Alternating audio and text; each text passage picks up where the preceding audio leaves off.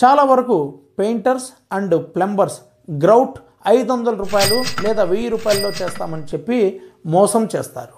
ఇది ఎలా అంటే డాక్టర్ ఫిక్సిట్ అండ్ ఎంవైకే లాటిక్ రేట్లో టూ టైప్ గ్రౌట్ అనేది దొరుకుతుంది. ఒకటి సిమెంటియస్ గ్రౌట్ దొరుకుతుంది రెండు ఎపాక్సీ గ్రౌట్ దొరుకుతుంది. అయితే మీరు ఎవరినైనా ఒక ప్రొఫెషనల్ని కాంటాక్ట్ అయినప్పుడు లేదా ఒక కంపెనీని కాంటాక్ట్ అయినప్పుడు ఎపాక్సీ గ్రౌటింగ్కి టూ థౌజండ్ ఫైవ్ హండ్రెడ్ లేదా three thousand rupees charge charge చేస్తామని చెప్తారు.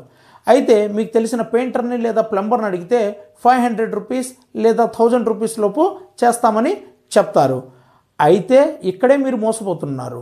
కంపెనీస్ యూస్ చేసేది ఎంవైకే లాటిక్రైట్ లేదా డాక్టర్ ఫిక్సిట్లో ఎపాక్సీ గ్రౌట్. ఎగ్జాంపుల్ తీసుకుంటే MYK లాటిక్రేట్లో MYK Laticrete SP one hundred అనే మెటీరియల్ యూస్ చేస్తారు. ది మెటీ ఈ మెటీరియల్ కాస్ట్ అనేది అప్రాక్సిమేట్గా వెయ్యి రూపాయలు ఉంటుంది. కాబట్టి two thousand five hundred rupees companies charge చేస్తాయి. అండ్ ఈ ఎపాక్సీ గ్రౌటింగ్ చేయడానికి కూడా ఒక ప్రొఫెషనల్స్ అవసరం ఉంటుంది. ఎందుకంటే ఎగ్జిస్టింగ్ సిమెంట్ గ్రౌట్ని హ్యాండ్ కటింగ్ మిషన్తో రిమూవ్ చేసి ఎపాక్సీ గ్రౌట్ ఫిల్ చేయాల్సి ఉంటుంది. అదే పెయింటర్ లేదా ప్లంబర్ ఇదే కంపెనీకి సంబంధించిన సిమెంటియస్ గ్రౌట్ తీసుకొస్తారు. ఈ సిమెంటియస్ గ్రౌట్ ఎనభై రూపాయలు మాత్రమే ఒక కిలో ఉంటుంది. కాబట్టి ఆ ఎనభై రూపాయలది తీసుకొచ్చి మీ ఫిల్ చేసి మీ దగ్గర ఐదు వందల రూపాయలు లేదా వెయ్యి రూపాయలు తీసుకుంటారు. ఆ తర్వాత మళ్ళీ త్రీ మంత్స్లో లేదా ఫోర్ మంత్స్లో ప్రాబ్లం అనేది రిపీట్ అవుతుంది.